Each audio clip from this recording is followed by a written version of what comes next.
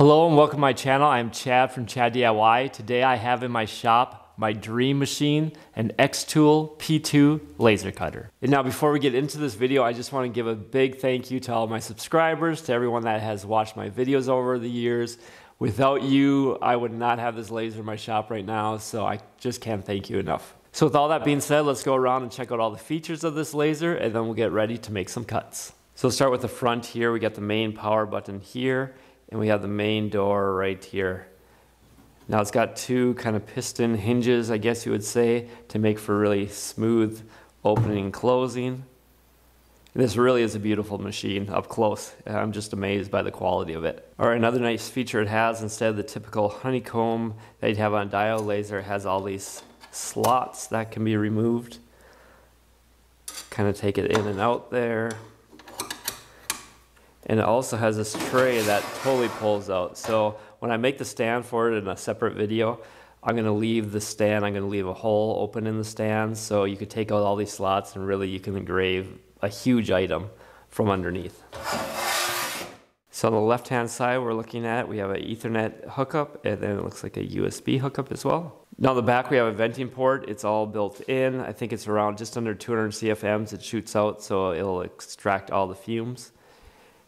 And down here we have, I think this is for fire suppression and fire sensors.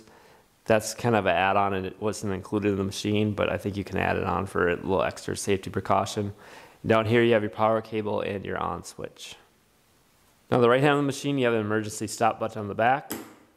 Now it might have been a little handier being on the front, maybe right here, right by the power button, but uh, it's definitely, definitely within reach to still get it off. And then back to the front where you have that power button again.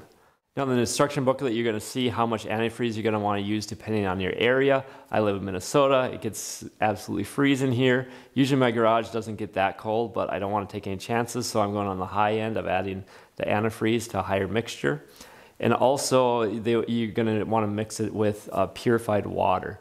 Now, I've seen in a lot of videos they'll use distilled water as well. The manual says purified water, which uh, purified water right there. So I don't know. I, I, do what you want to do, I guess, on that as far as deciding whether it's distilled or purified. For my research, distilled is kind of just another level of purified where it gets rid of the minerals.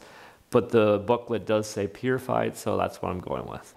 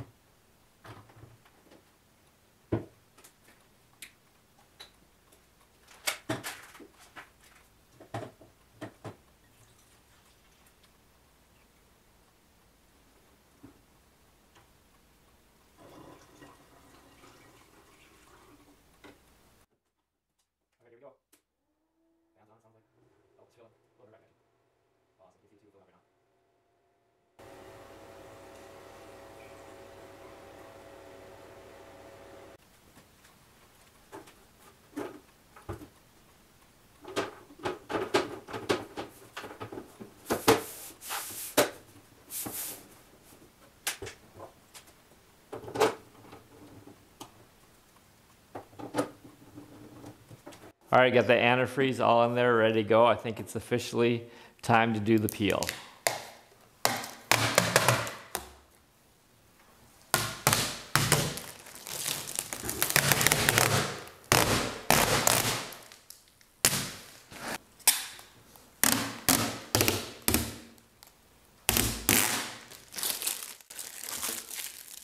All right, now I have my laptop hooked up to the machine.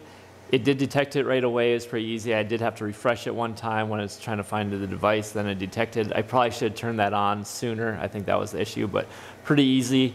It went through some updates and now we're ready to kind of calibrate the laser. Now to calibrate the laser, we're gonna go into this little gear icon here and we're gonna go down to settings and do an optical path setup test. And then you can kind of control the laser module with this. I already have it far in the, the far right corner is where you want to have it. And then we're going to use a little piece of masking tape to kind of see where that laser is at.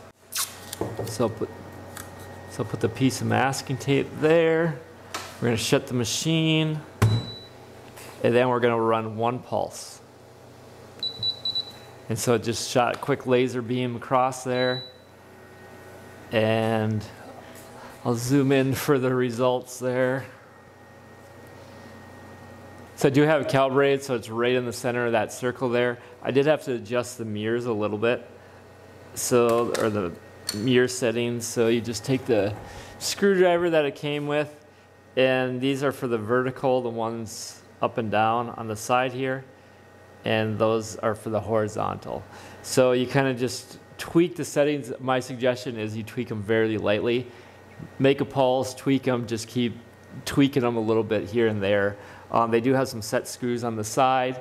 Uh, so you let the set screws off, you tweak them, get it all nice and straight, and then you're ready to make a cut. So I have moved my machine. I have it just vented out the window very temporarily. This is just uh, kind of testing it out. Now they did include some, I think three millimeter, yeah, three millimeter basswood with the machine. So we'll use that for our first test cut.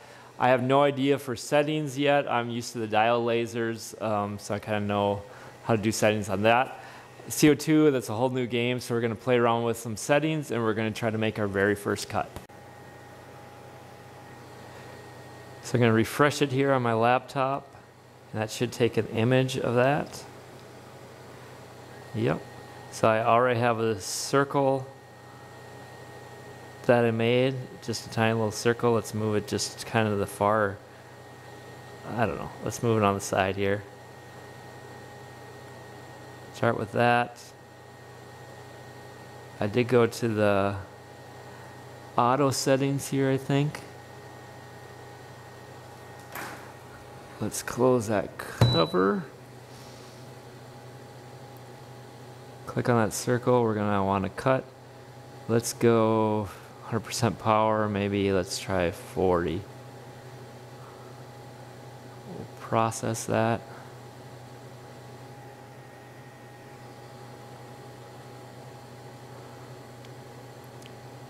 All right, I'm gonna hit start. Looks ready. I'm gonna swing over to the other side of the machine, hit start. It does lock the cover in place so you can't open it up during the cutting process.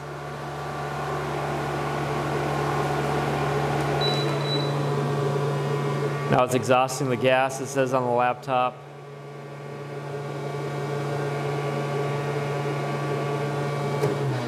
All right, now it's done. Let's see if it made a cut. It did make a cut.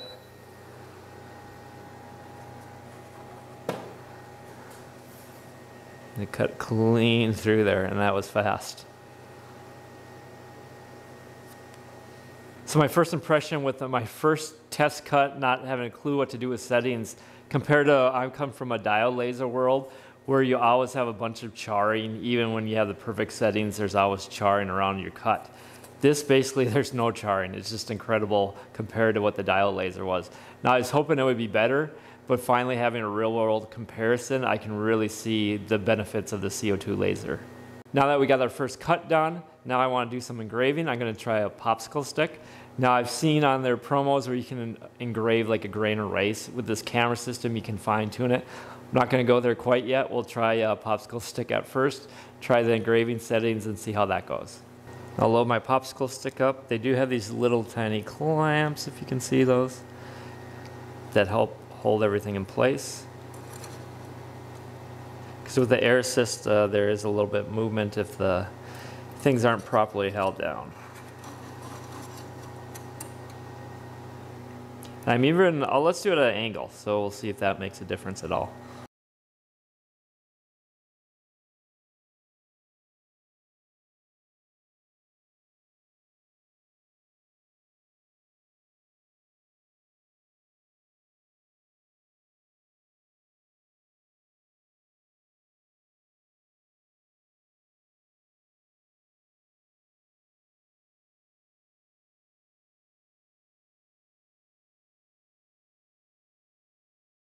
All right, let's see how it turned out here. wow. Try to focus in on that. There we go. So that camera system works awesome. All right, let's try a toothpick here. All right, my toothpick is all loaded up. I'll load it up in the software and then I'll make the engraving. All right, let's see what happened here with the toothpick. And yeah, I probably could have lowered it a little bit. You're probably never going to be able to see that on the camera. But yeah, there is a tiny little Chad DIY. You'll have to take my word for it there. Now, I don't know if this is really practical, like you're going to be engraving a lot of toothpicks, but it just kind of shows the fine detail you can do with this machine. The last thing we're going to test on this video is cutting clear acrylic. Now, this is one of the main reasons I wanted the CO2 laser compared to the diode laser. The diode lasers can do colored acrylic, they cannot do clear acrylic. And so I'm really excited to see how this works out.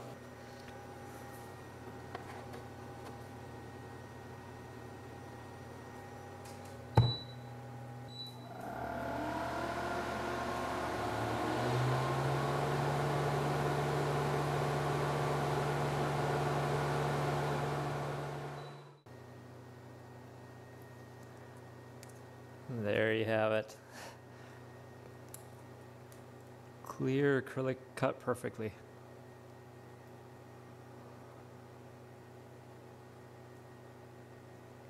So this video was just kind of getting started with this P2 laser. Uh, it can do so many more things than I did today. I just wanted to get a few test cuts, a little engraving on the way, check out that camera system. But I plan on doing a lot more videos in the future to really expand on the capabilities of this. Now, once again, I want to thank everyone for subscribing to my channel, watching my videos, to basically allowing me to have a machine like this in my shop. Now, if you're interested in buying your own Xtool machine, I'll provide a few links in the description down below. I have some promo codes so you can save money. It helps out the channel. You'll save money buying your machine and it really helps a lot. And if you do have any questions on this Xtool P2 laser, please leave them in that comment section below and we'll see you on the next one.